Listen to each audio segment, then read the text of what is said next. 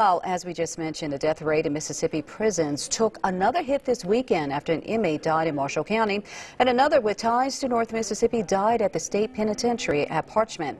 Now, in Marshall County, someone found Jermaine Tyler unresponsive in his housing unit around 8:15 Saturday night. According to the coroner, James Anderson, the body was cold to the touch. Anderson doesn't believe foul play was involved. Now, Jermaine Tyler was serving life for capital murder. A Rankin County jury convicted Tyler for the execution-style killing of a Brandon woman during a robbery. An investigation into the death of Tyler is underway.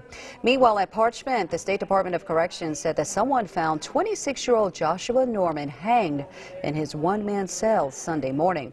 Now, he was housed in Unit 29. A judge sentenced him last year to five years in prison for an armed robbery in Oktibbeha County.